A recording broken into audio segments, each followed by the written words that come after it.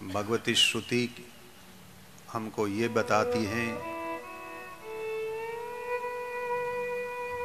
कि निर्दोषी समम ब्रह्मा, जिसका न रूप है, न रस है, न गंध है, न आकार है, भगवान वेद कहते हैं, रसो वही सह। उसके साथ आलयम आलयम माने ओतप्रोत हो जाना। एक हो जाना, घुल जाना। यही जीव का उद्देश्य भी है और परम लक्ष्य भी है। क्योंकि शास्त्रों ने हमको ये बताया है कि श्री कृष्ण का एक अर्थ होता है विश्राम स्थानम एकम। हर एक जीव का आराम, विराम, सुख शांति और आनंद जो है, वो श्री कृष्ण है। वहाँ तक पहुँचना ये एक जीवन की कला है। इस जीवन की कला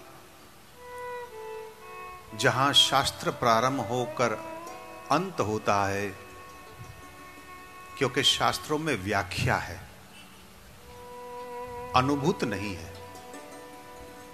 शब्द है। पहुँच नहीं है। तो जहाँ शास्त्रों की सीमा पूरी हो जाती है, वहाँ से सदगुरु की यात्रा का प्रारंभ होता है। परमात्मा जब जीव के ऊपर कृपा करनी हो तो उसको संपत्ति नहीं देता, उनको संतों का दर्शन करवाता है, जिससे उनको परमात्मा से कृष्ण तक पहुँचने का एक सेतु बना सकता है और छोर से वहाँ तक पहुँचाने का कार्य ये सदगुरु परिपूर्ण करता है। सदगुरुओं का काम, शिष्यों को कंठी बांधना, उनके पास अपना काम कराना, उनकी मनोकामना पूर्ण कराना ये कोई ऐसा कार्य सदगुरु का नहीं होता है। सदगुरु का कार्य केवल एक है, और भगवती श्रुति कहती है, समयम भ्रांति भंजनम। शिष्यों की भ्रांति को दूर करना ये सदगुरु का काम है। ध्यान दे, सदगुरु कभी आशीर्वाद नहीं देता। यदि आशीर्वाद ही देना था तो गीता के रचयिता, गीता के गायक श्री कृष्ण क्या अर्जुन को आशीर्वाद नहीं दे सकता था क्या?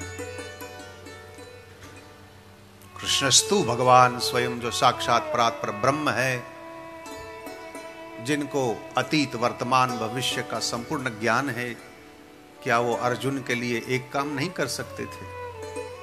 नहीं। सदगुरु का काम है सत्य की राह बताना।